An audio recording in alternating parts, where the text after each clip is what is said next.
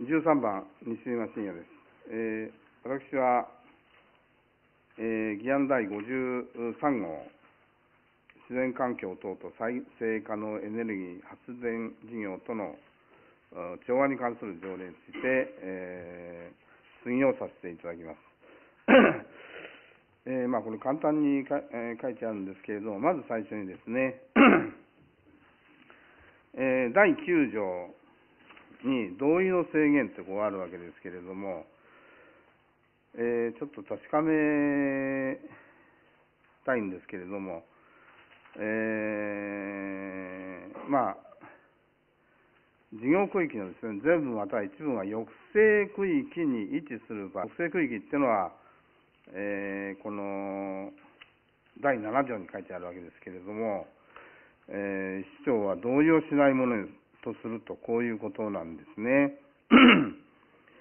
えー、いつただし、えー、ただしですよ、ただし、えー、太陽、太陽電池、えー、太陽光再生可能の場合ですね、太陽電池モジュールの総面積が1万2000平方メートル以下の事業ということですけれど、まずあのお伺いしたいのはね、この太陽電池モジュールってのは、これね、モジュールってのはあんまり聞いたことないんですけど、大体どういう意味なんですか？パネルのことを言ってるんですか？太陽電池モジュール、モジュールの意味をお伺いしたんですね。えー、それが1点と、それから 総面積が1万2000平方メートル以下ということなんですけれども、1万2000平方メートル以下は あの、同意しないことはないよと、こういうことなんです、と思うんですけどね、この1万2000っていうのはどっかにこの根拠が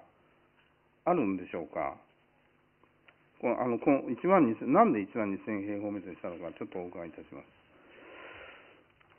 えー、それからですね、え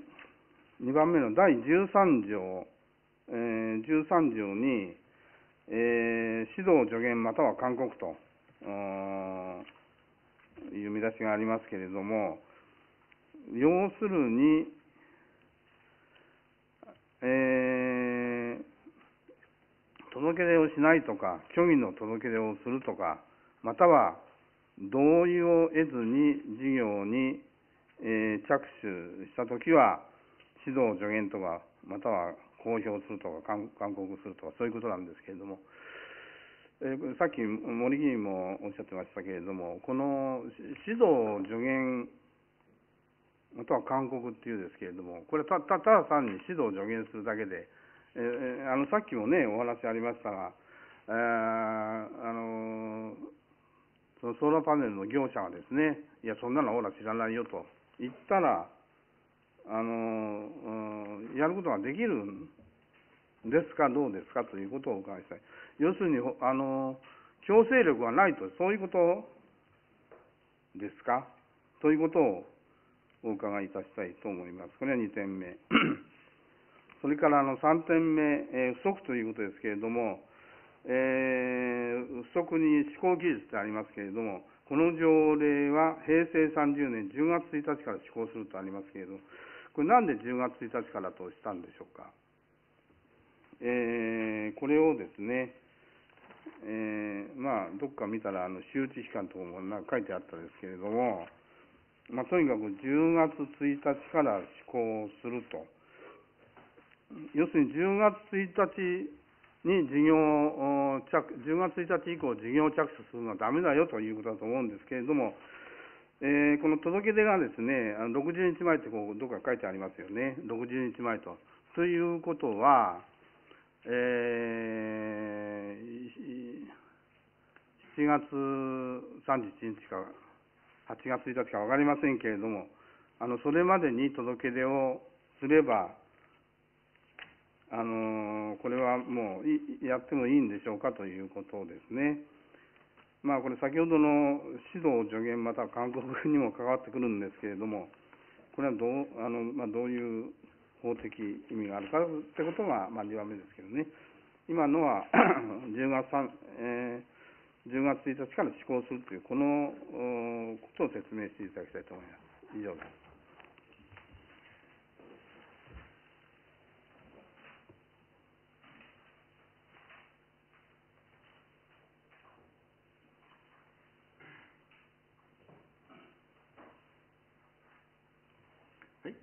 答弁願います。市長。市長政政策官に答弁をさせます。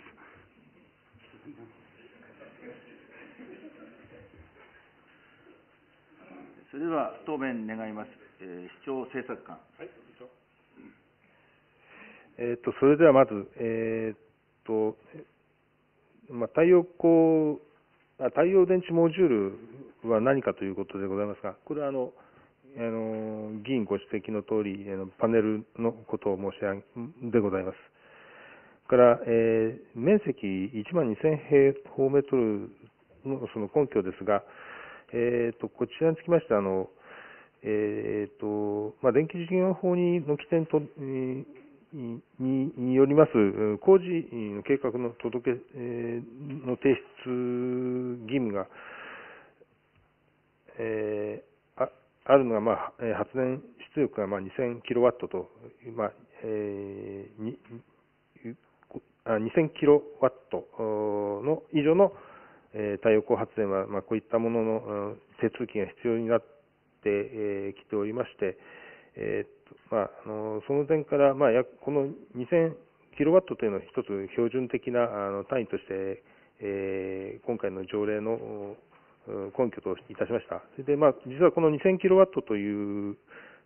を発電するに必要な、まあ、太陽電池のモジュールでございますが、まあ、これが、えーと換算しますと、面積がまあ1万2000平方メートルというふうになるようでございます。したがってこれを基準とさせていただいたもので、これはあの他の地区の先行した、えー太陽光発電に関わります条例を制定したところと同じ数値となっております。それから、えーとまあ、届け出をしないなど、まあ指導、助言、勧告、こういった場合の、まあ、効果、強制力があるのかというところでございますが、えーとこちらにつきましては、あのまああの勧告に従わない場合は、えー例えば、え事業者の氏名や住所、勧告の内容を公表することができるとしております。でまたあの、その公表内容につきましての、えーとこのえーとヒット法と言われる、えーこの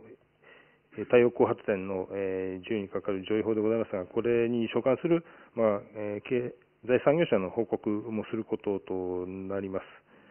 まあ、公表の内容によっては、まああのじえーそのヒット法に基づく事業認定の取り消しになる可能性もあるという効果はございますが、まあえー、と強制力といった点では、えーこれらでもえー何かしらの強制力があるということまでは言えないのかなと考えております。それから次に、えー、と施行期日10月1日とした理由ということでございますが、まあえー、とこちらも、えー、と先ほど、えー、と議員の方から周知期間ということがおりましたので、まずその周知期間を確保するということで、えー10月1日とさせていただきました。で、まあ、そその前にそういったあの例えば、えーえここちらの、えー条例の適用前に、えーえー土地利用に関する、まあ、申請等が出た場合どうなのかということでございますが、当然、えー、と施行日が10月1日ですので、それ以前では当然その前の、えー法令、えーえー手続きが、あまあえー当然その手続きはまた有効でございます。ただ、えー従いまして、もし、えーその10月1日以前に提出がされれば、それは、えー申請があれば、その申請については対応せということにはなります。以上です。はい、再質問ありますか。はい西間信也議員。はい。えーそれではですね、再質問をさせていただきます。えーっと、えーまあ、あの、大体分かったんですけれども、あの、ちょっと他の条文もちょっとお伺いしたいんですけどね、あの、適用事業というのは第6条にありますですね。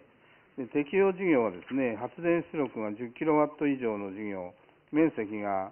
1000平方メートル以上のものは、あこれ適用すると、えー届け出をしなさいということになってるわけですけれども、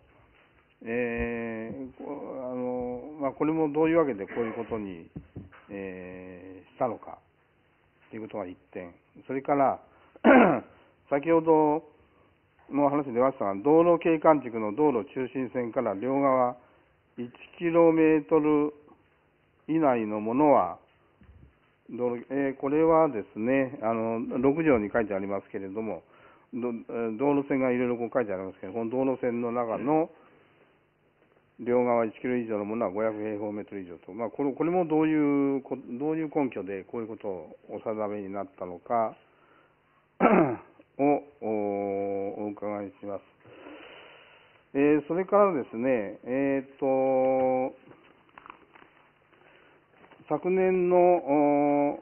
3月ですか、えー景観まちづくり、え条例というのが定められましたが、そのな、えー今年の3月にですね、修善寺温泉渓谷地区を景観まちづくり重点地区に指定しましたという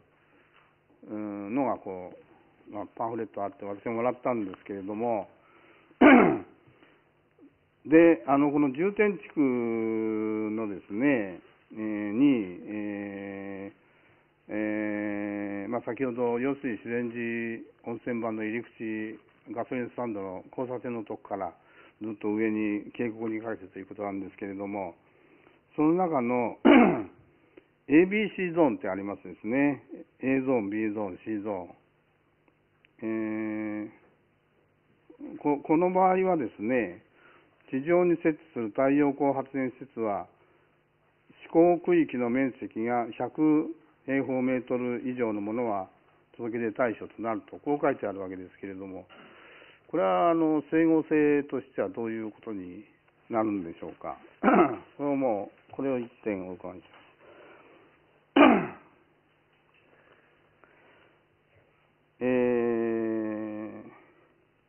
それから先ほどですね、あの、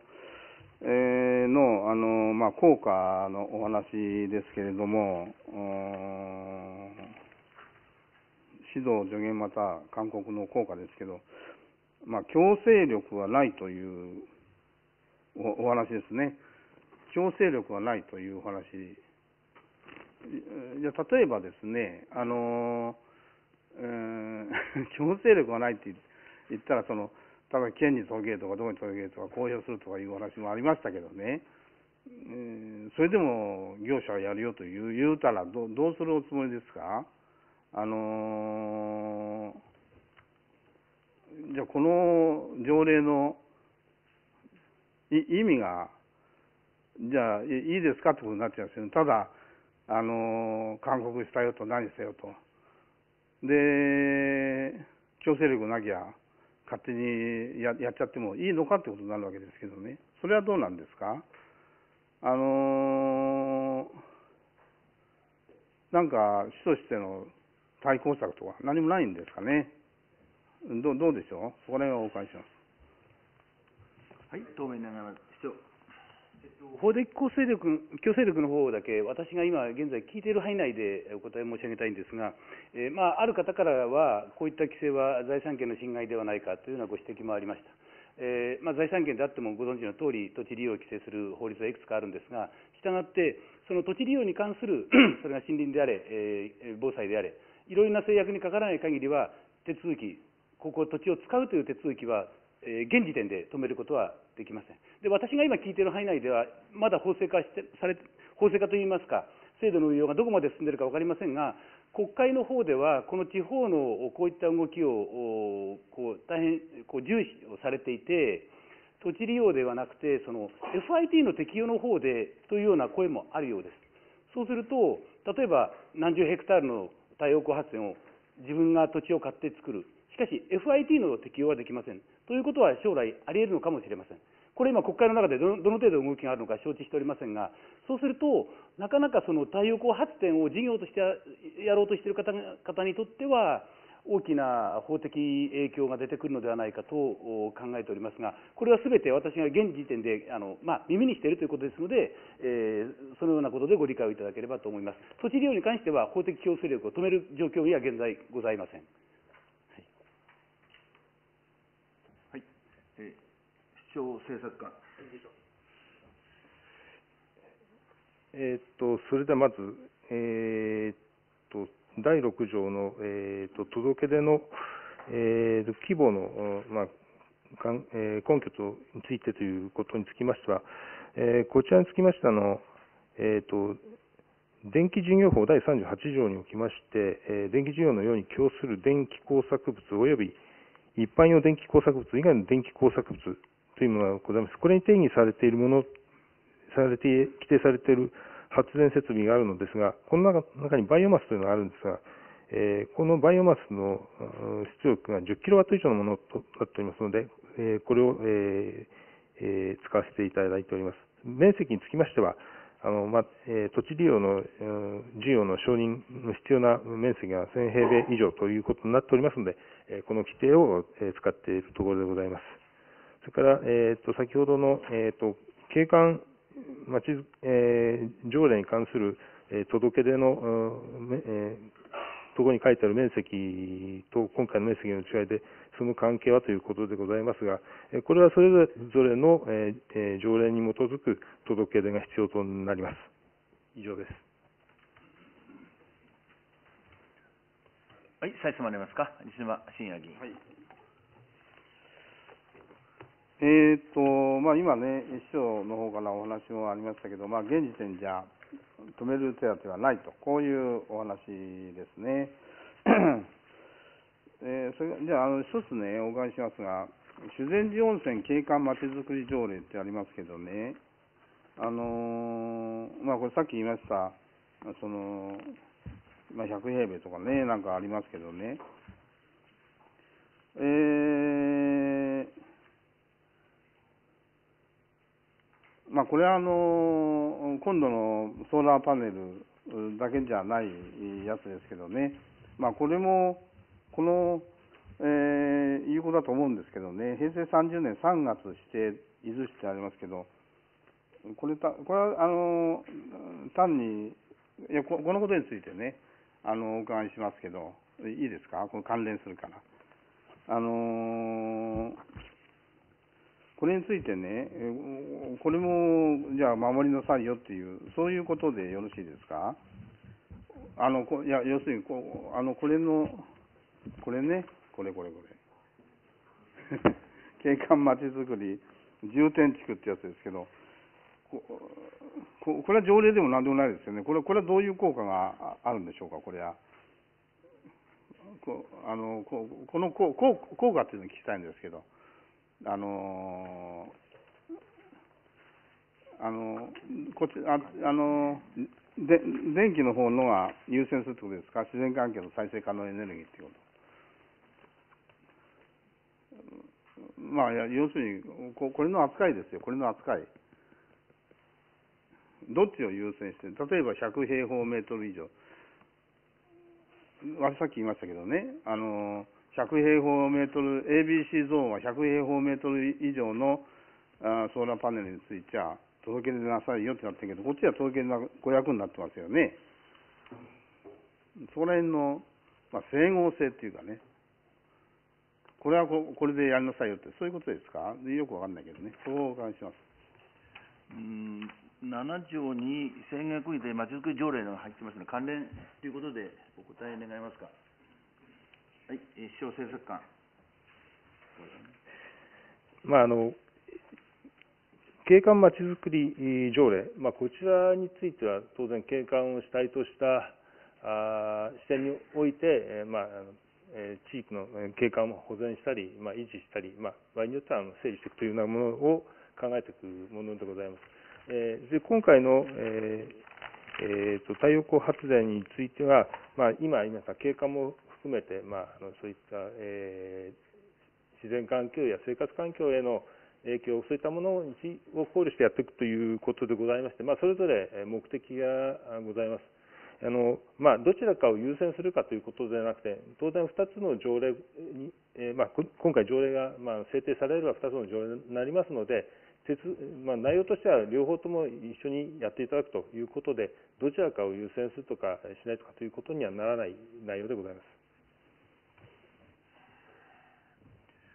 これで西島信也議員の質疑を終わります。